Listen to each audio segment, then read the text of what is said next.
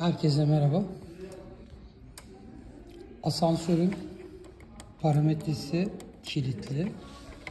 RS 232 motor sağ tarafı çekiyoruz.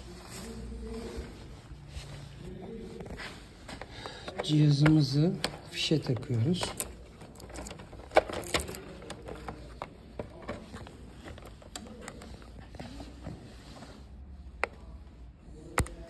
Düğmeye basıp bekliyoruz.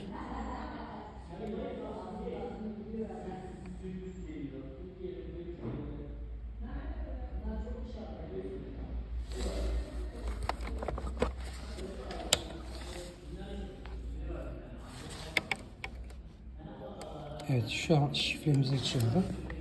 Switch'i tekrar yerine çektik. Şu an arıza parametrelerini girebiliyoruz.